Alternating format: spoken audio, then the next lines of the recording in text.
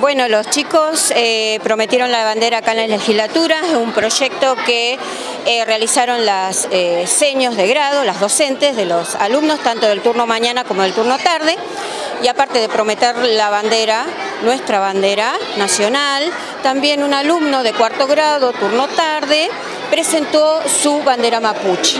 ¿sí? Entonces se brindó el espacio también acá en la legislatura, eh, un hecho histórico que se valora mucho y sobre todo se prioriza el derecho al estudiante, ¿no? que también esa era la intención de la escuela, priorizar el derecho del niño.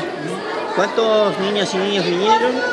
65 eh, chicos, 65, estudiantes de la escuela de ambos turnos y bueno, tuvimos que organizar todo lo que fue el, del contraturno porque tenemos dos cuartos de la mañana y un cuarto de la tarde, así que fue un trabajo también en conjunto, una parte de la organización con las familias, eh, de encontrarnos acá, de trasladarnos de la escuela, así que bueno, fue todo, todo organizado y todos comprometidos en hacer este acto acá y la verdad que es muy significativo, eh, muy importante para los chicos porque ya habían hecho una, una visita a la legislatura, entonces que hayan prometido acá la bandera la verdad que fue muy significativo para ellos.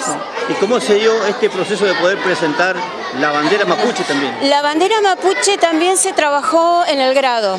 ¿Sí? con los chicos en las aulas. Eh, también se charló con los papás, con las familias en reuniones. Este, y la verdad que los chicos acompañar al compañero muy querido este, también era importante. Entonces, bueno, tener el espacio fue muy significativo.